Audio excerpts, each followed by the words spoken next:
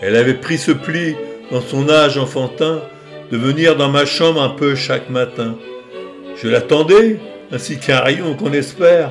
Elle entrait et disait Bonjour mon petit père.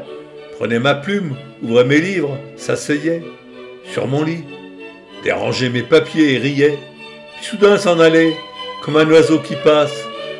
Alors je reprenais la tête un peu moins lasse, mon œuvre interrompue, et tout en écrivant, parmi mes manuscrits, je rencontrais souvent quelques arabesques folles et qu'elle avait tracées, et maintes pages blanches entre ses mains froissées. Oui, je ne sais pas comment venaient mes plus d'ouvert. Elle aimait Dieu, les fleurs, les astres, les prévers. Et c'était un esprit avant tout, une femme. Son regard reflétait la clarté de son âme. Elle me consultait surtout, à tout moment.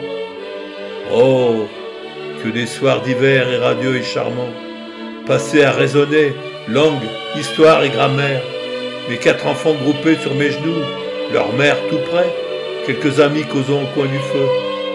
J'appelais cette vie content de peu. Et dire qu'elle est morte, hélas, que Dieu m'assiste.